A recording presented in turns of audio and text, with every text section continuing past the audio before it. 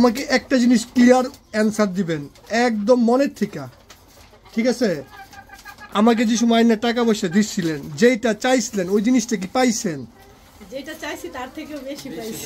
আপনার চাওয়া ছিল যে একটা ভালো ফার্মিং শিখবেন একদম সর্বোচ্চ লেভেলের ফার্মিং শিখবেন সেটা হচ্ছে কৃত্রিম প্রজনন।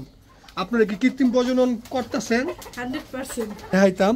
দেখেন এই ভাই বলতাছে কি যে উনি চাইলে এই ঘরের থেকে সামনের মাস থেকে পাঁচশো হাজার টাকা বেরিব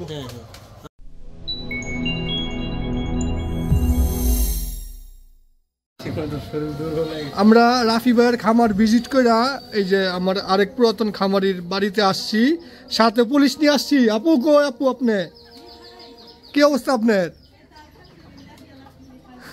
আমার তো দাওয়াত দেন নাই গা। আমি কিন্তু দাওয়াত ছাড়াই চলে আইছি দেখেন এই যে দেখেন তো কেমন ঘরের ভিতরে খামার আর কত সুন্দর সেট বলেন। দেখছেন আপনি রাফি ভাই? আসেন আপনি আসেন। দেখেন তো এই ঘরের ভিতরে খামার আছে কল্পনা করা যায়। কল্পনা করা যায় বলতে কি আমি এই রাস্তা সেট দেখছেন?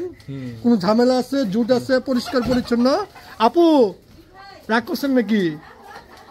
আসেন তাহলে একটু আসেন। রাস্তা দিয়ে যখন চলাফেরা করি তখন এই জায়গায় প্রায় আমি মোরগ মুরগির ডাক শুনতে পাই যে এই জায়গায় আপনার কিছু আছে, মোরগ মুরগি হয়তো থাকতে পারে, কিন্তু পরে এই খামারের মালিক কে? শিউলি আপা না ভাই? শিউলি আপা। তাহলে আপনি কি, খামারের কর্মচারী? হ্যাঁ আমি তো আপুর লোকে রাগ করছি। আপু আগের বার আসছিলাম, বলছিল আমি তো ভাই আপনার ভিডিও দেখতাম না, আপনার বাইরের উপরে আমার খুব রাগ হইতো, খালি আপনার ভাই আপনার ভিডিও দেখতো। হেডার লাগিনি কিন্তু আপু, আমি আসি না কিন্তু। আসেন একটু, আসেন তাহলে বলেন কি অবস্থা খামারের? কতগুলো আছে ভাই মুরগি? ঘরের ভিতরে আমরা ঢুকলে পরে আর জায়গায় নাই। ভাই আপনারা দেখছেন খামারের সেট দেখছেন? আপনার থেকেও জায়গা ছোট। কত সুন্দর পরিবেশ খেয়াল করছেন? এখন বলেন আপনাদের খামারের পরিস্থিতি কি? ডিম কেমন পান? আপনার জিগাই কে? আপুরে জিগাই না আপু? ডিমের কথা আর কি বলব? কল্পনা করি না সতেরোটা মুরগি থেকে ষোলোটা ডিম আমি গরমেছি প্রতিদিন ডিম তুলেন? প্রতিদিন আপনার দশটা তো কন্টিনিউ থাকে। আচ্ছা। তো আছে ওগুলি দৌড়েই না। আচ্ছা আপু তাহলে একটু আসেন না আমার পাশে দাঁড়ান একটু। আমাদের খামারের মালিক শিউলি আপু। এর আগে আপুর কাছে আমি ক্যামেরা ধরাইছিলাম আজকের ক্যামেরাটা দিব না আমার হাতে থাকব। আমি অনেক দিন আগে আসছিলাম দুইটা ভিডিও আমরা করছিলাম। দুইটা ভিডিওর লিঙ্ক আমি ডিসক্রিপশন বক্সে দিয়ে দিব আপনারা দেখবেন। হয় আসছে। আসছিলেন। খাওয়াইছেন কি দিয়া? তাহলে বলেন এটাও। মা তারিখ মনে আছে তাহলে খাওয়াইছিলেন কি? আর কি? গরুর মাংস? আমি কিন্তু এখন গরুর মাংস খাই না। আজকে গরু মাংস রান্না করব আজকে গাছের লাউ তারপর শাক আর ভর্তা। আমি তো ভর্তা খুব পছন্দ করি। আচ্ছা আমি আসছিলাম যে আমার যে বাইরে দেখছেন রাফি ভাইয়ের খামার থেকে একদম কাছাকাছি খামার। পাশাপাশি আপু। খামারের কি লাভ হচ্ছে? ভাই এখনও তো লাভ লস কিছু বুঝতেছি না? আমাদের কোনো লস হচ্ছে না। হ্যাঁ। লস হচ্ছে না আমরা মনে করেন প্রফিট হয়তো বা বেশি বের করতে পারতেছি না কিন্তু আমাদের কোনো দিক দিয়ে কোনো ক্ষেত্রে কোনো লস হইতেছে আমাকে একটা জিনিস ক্লিয়ার অ্যান্সার দিবেন একদম মনের থেকে। ঠিক আছে? আমাকে যে সময় না টাকা পয়সা দিচ্ছিলেন যেটা চাইছিলেন ওই জিনিসটা কি পাইছেন? যেটা চাইছি তার থেকেও বেশি পাইছি। আপনার চাওয়া ছিল যে একটা ভালো ফার্মিং শিখবেন একদম সর্বোচ্চ লেভেলের ফার্মিং শিখবেন সেটা হচ্ছে কৃত্রিম প্রজনন। আপনারা কি কৃত্রিম প্রজনন করতেছেন? কৃত্রিম প্রজনন করতেছেন? কে আচ্ছা, আচ্ছা এই আপনার এই যে সিমেন্স কে বের করে ভাই না আপা সাবাস সাবাস সাবাস এই তো ঠিক আছে। আপনি পারেন না? পারি না মানে এই যে আমার আপা কিন্তু পারে। এগুলোর থেকে আপনার কৃত্রিম প্রজনন হয়। এই যে দেখেন এগুলোর থেকে কৃত্রিম প্রজনন হয়। এই যে এই মুরুদ থেকে সিমেন্স বের করা হয়। বের করে মুরগিটা পুশ করা হয়। ঠিক আছে? এই যে দেখেন মুরগি। লাভ নাই আপনার ভাই লাভ নাই ধরা গেলে তা না। আমরা ডিম খাই ফেলাই অনেক। ডিম মানে কটা করে ডিম খান? প্রতিদিন তো এক হালি তো কমপক্ষে খাই। না ভাই আবার বেশি তো হয়। পনেরো বিশটা সিদ্ধ করা হয়। আমাকে বলেন আপু এই যে খামারটা ছোট্ট একটা জায়গা ভাই লাভ লস বলতে কি? একেবারে যে লস হয়েছে তা না আমরা আলহামদুলিল্লাহ লসের দিকে যাই না আপনি যেহেতু আমরা শুরু থেকে আপনার ফলো অফিস ছিলাম সেজন্য আমরা লসের দিকে যাই না আচ্ছা। আমি মনে করি যে ফার্স্টে যে মুরগির বাচ্চাগুলো আপনি দিয়েছিলেন সে থেকে মুরগগুলি আমরা দেশি মুরগগুলি একটু বড় করে বিক্রি করছি সেক্ষেত্রে দেখা যায় মুরগের টাকা দিয়েও আমরা মুরগির খাবার কিনতে পারছি। আপু আমাকে এই মুহূর্তে একটা ক্লিয়ার অ্যান্সারের উত্তর দেন। আপনারা একটা অনেক বড় জিনিস শিখছেন যেটা টাকা দিয়া পাবেন না, কৃত্রিম প্রজনন করতেছেন। আপনার এখন কনফিডেন্স হয়েছে। আপনি চাইলেই পাঁচশো মুরগির খামারও করতে পারবেন। এই কনফিডেন্স তো আপনার হয়েছে আপু। ঠিক আছে না? এই জিনিসটার মূল্য লাখ টাকাও নয় আপনি যেই কৃত্রিম প্রজনন করতেছেন একটা মেয়ে হইয়া ঠিক আছে? কিন্তু আমার কথা হয়েছে এই মুহূর্তে প্রায় আট নয় মাস খামারটার বয়স। আমরা চার পাঁচ মাস বাদ দিলাম। তিন মাস ধরে তো ভালো ডিম পাচ্ছেন। এই মুরগি কয়টা আছে? সতেরোটা। ডিম পান কয়টা প্রতিদিন আমাকে বলে দশটার উপরে থাকে। দশটার উপরে ডিম থাকে। অনেক ভালো ডিম অনেক ভালো। মানে মানে বেশিরভাগই আমরা আপনার হচ্ছে চোদ্দটা তেরোটা কন্টিনিউ মানে কি নিতাম। এখন দুই একদিন ধরে দশটা। এখন আপনার খামারে লস না হোক আপনার ডিম মানে লাভ কি? পাঁচশো টাকাও লাভ থাকতেছে। ডিম বেচা? জি। হ্যাঁ? জি। পাঁচশো টাকা থাকে না হ্যাঁ। বেশি থাকে না আর কম থাকে বলেন। পাঁচশো টাকা থাকে না আগে তো যা মানে খরচ করছি এর মধ্যে থেকে আমাদের লস হয়েছে কোনোদিন আমরা বলতে পারব লস হয় নাই কারণ আপনি এই মুরগিটা তো ছয় মাস খাওয়ায় বড় করছেন। এটা তো আপনার পকেটে টাকা দেওয়া হয়েছে এটা ষাটটা মুরগি প্যারা ইয়া আপনার ষাটটার মতো মুরগি ইয়া করছি আমরা তিরিশটা আবার বিক্রি করে বিক্রি করে ওইগুলা বিক্রি করার সময় লাভ হয়েছিল? হ্যাঁ, হ্যাঁ, ভাই, লাভ। আমি কত টাকা আপু? লাভ হয়েছে মিনিমাম চার থেকে পাঁচ হাজার টাকা। লাভ হয়েছে। আমার এই খামারিটা হয়েছে শিউলি আপা। আপারে যদি ক্যামেরার সামনে আনতে পারতাম যে আপনারা বুঝবেন আপু একটু দাঁড়ান তো। আপু বুরকা পরা বুরকা পরা না মেকআপ পরা? তাহলে বুঝলেন যে আপু যে কি পরিমাণ বুদ্ধি আপুর কল্পনা করতে পারবেন না। এই এই আপু কৃত্রিম প্রজনন করতেছে। কল্পনা করা যায়। তাই উনি পারেন না সবকিছু আমার মধ্যে দিয়ে যায়। ভাই আপনি পারেন নাই। আপনার কি ছিল ইচ্ছা এক সময় চাকরি স্যার একটা ভালো খামার দিবেন। অলরেডি আপনারা ওই লেভেলে গেছেন। ঠিক আছে না আপনি কত টাকা ইনভেস্ট করছিলেন এই পুরো খামারের ভিতরে? ইনভেস্ট যেটা মূল যেটা ইনভেস্ট আচ্ছা তো আমার আগেরই ছিল। ধরেন বিশ হাজার টাকা? না এত হবে না। দশ হাজার টাকা ইনভেস্ট করছেন।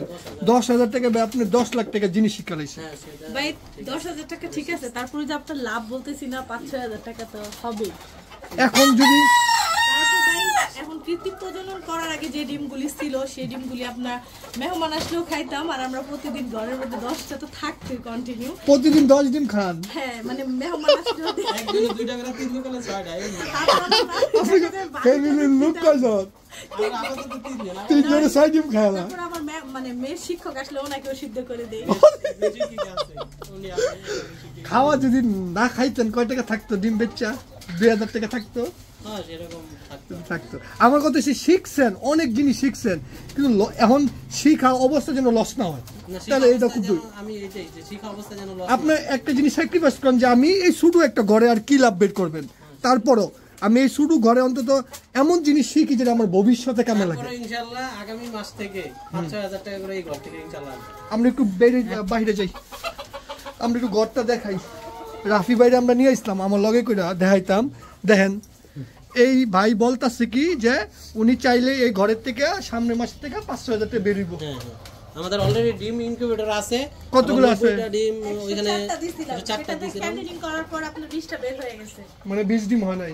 না এটা আমাদের একটা মেশিন হয়েছিল। কি করছেন মিস্টিক এটা হচ্ছে ইনকিউবেটরটা মানে ভালোভাবে ঢাকনা লাগানো হয় নাই। ও, আচ্ছা। থাকতো আমরা এটা মানে আপনাকে দিছি বলছিলাম। আচ্ছা আপনারা তো মুরগির বাচ্চা বেচবেন। জি। আমি কি ভাইয়ের নাম্বার অনলাইনে দিয়ে দেবো? নাম্বারে ফোন আসলে আপনি আপনি বুঝবেন। আচ্ছা তাহলে ভাইয়ের নাম্বার আমি আমার ওয়েবসাইট পেজে আমি দিয়ে দেবো। খুব দ্রুত দেবো আমরা এটা। এখনও দিব না বলতে আমি আপনার অনুমতি নিলাম। যে পর্যন্ত আমার খামারির বাচ্চা লাগবো দিয়ে যে সময় লাগবে না ওই সময় আমি আপনার নাম্বার দিব। তার আগে তো না। কয় তারিখে হয়। বাচ্চা বের হবে কয় তারিখে ঠিক আছে আমি একটা লোকের বইলে দেবো চাঁদপুরতে আইসা বাচ্চাগুলো নিয়ে যাবেন যাব। তারিখে বের হবে। ঠিক আছে আমরা আপনারা দেখেন রাফি ভাই ভাইজান আপনি দেখেন আপনিও দেখেন দেখছেন? উনি তো আমার পুরাতন খামারি। আমি তো বানায় বানায় কোনো জিনিস বলতেছি না। একটা ব্যাপার হচ্ছে কল্পনাও করতে পারি নাই যে এত দূরে আসতে পারব। আল্লাহ তাআলা নিয়ে আসছে আপনার উসিলায়। আপনাকে আমি প্রতিদিন দোয়া করেন। যদি নাও হয় আমি সপ্তাহে আপনার জন্য মানে কি মন থেকে দোয়া করি যে সাকিব আবু তাহলে একটা আরেকটা এক্সট্রা দোয়া করবেন। তাহলে আমার পিটাইবো। আচ্ছা এখন তাহলে ভাই আপনাদেরকে নিয়ে আসছিলাম আসলে খাবারটা দেখাইতে। দেখেন দেখেন ডিম আছে মনে হয়। আবার এমনি ইনকিউবেটর আছে মানে ছোট জায়গার ভিতরে খুব সুন্দর সেট আপ হয়েছে মাসাল্লাহ দেখছেন? আমরা কল্পনা করতে পারি না যে এত ছোট জায়গার ভিতরে এত সুন্দর একটা ফার্ম আমি- সেটা হবে। এটা কিন্তু আমি বলি না না প্রমাণ দেখালাম আপনাদের। আমি এতদিন এতদিন খালি ভাবছি এই জায়গায় যাওয়ার সময় মানে এই জায়গায় আমাদের বাড়ির কাছে যে এত সুন্দর একটা ফার্ম আছে যে আমরা কোনোদিন কল্পনা করতে পারি কখনো ভিতরে ঘর দেখছেন? খাওয়াবেন নাকি? কি? খাওয়াবেন কি? আচ্ছা আপনাদেরকে একটু দেখাই খামারটা দেখেন এই যে আমাদের খামার। এই যে। ছোট্ট একটা ঘরের ভিতরে আমরা ছোট মোটুনি একটা ঘর। আর দিই আপা কি খাওয়াইবো আমার? আয়েন না খাই না। শুক্রবারের দিন সময় নাই।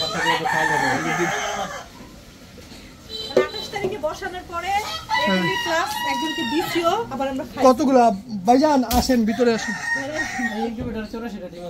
ওই যে ইনকিউবেটর কন্ট্রোলার এইটার থেকে আরেক এটা ভালো দেয় আউটপুট হ্যাঁ। কন্ট্রোলারটা? আচ্ছা ঠিক আছে এরপর না হলে এইচটিসি এক হাজারটা আমি তো দেই ইনকিউবেটর খুব ভালো হয়। এই দেখছেন ডিম দেখেন। আঠাশ তারিখে বসানোর পরে। ডিম দিছে এগুলা। তারপরে আবার অনেকগুলো খাইছি আজকেও কয়েকটা বেশ খাওয়া হয়েছে। খান অন্তত তো মনে শান্তি আছে যে না খাইতে পারতেছি। পাঁচটা সিদ্ধ আজকে সকালে দুইটা দিয়ে নুডলস রান্না করছি। ডিমের যত রেসিপি আছে সব করে। মানে কল্পনাও করি না এত ডিম যে একসাথে দেখব। আসলে মুরগি পালন করলে যদি মনে করেন যে ঠিকভাবে পালন করা যায় তাইলে আসলে লস নাই ডিম বিক্রি করেও মোটামুটি টাকা থাকে। আন বলেন আপনার সেটআপ ঠিক আছে? হ্যাঁ সেটা ঠিক আছে। আপনার তো ঠিক আছে। আমারটা তো হজবরল এটার মধ্যে দেশি সারা জিনিস আছে। কারণ একটাই এই যে সব কবুতরের সেটআপ ছিল। লাস্ট এই যে কাঠের খাঁচা যেটা দেখছেন লাস্ট যেটা আর কি কাঠের খাঁচা দেখছেন এটা আর কি আমার বানানো। একমাত্র বড় কিছু মুরগি এখানে রাখব এই কারণে। আর যা সব হলো কবুতরের সেটআপ ছিল। তাহলে তো আপনাদের ধারণা হয়েছে খামার কি করা লাগবে আমার তো আর বলা লাগবে না। আর আপু আপনার আমি একটা দায়িত্ব দিব আমার এই বাইদারে যে কোনো একটা বাইরে বা বাইরের ওয়াইফ আছে ওরে একটু কৃত্রিম প্রজননের টেকনিকগুলো আপনি দেখাই দিবেন। আমার দেখাইলে ওয়াইফ আসলে সময় করে ঠিক আছে এই দায়িত্বটা আমি দিলাম ওই- এই এই সময় কখন আছে এটা বইলা দেব? আমার ওয়াইফ এখনও না এখনও আপনার সময় হয় নাই। এখানে যাইতে আরও তিন চার মাস সময় লাগবে। ও হ্যাঁ এই যে ভাই কইছে তবে আপনি দ্রুত একটা প্রস্তুতি নেন এই আপার কাছে আপনার ওয়াইফ যেন আসে। তারপর আমার বড় ভাইও তো আছে সমস্যা নেই। হ্যাঁ। উনি অলরেডি একটা পর্যায়ে চলে গেছে শিখতে আমার জন্য সুবিধা হবে আর কি। ঠিক আছে তাহলে আপু কি পাক করছেন দেখান না একটু। আপু পাক করে নাই আপু পাক করে নাই আমি জানি এর লেগে জিজ্ঞাসা না না ভাই রান্না কি চুলা আছে। কি মানে কি কি বহাইছেন এই আপনি লাউ দিয়ে হ্যাঁ। বলেন? হ্যাঁ। জাটকা মাছ বলে হ্যাঁ। তারপর হচ্ছে লাল শাক আমি খামুই না এই এই সব খাওয়ানো আমি খাই না গরুর মাংস ছাড়া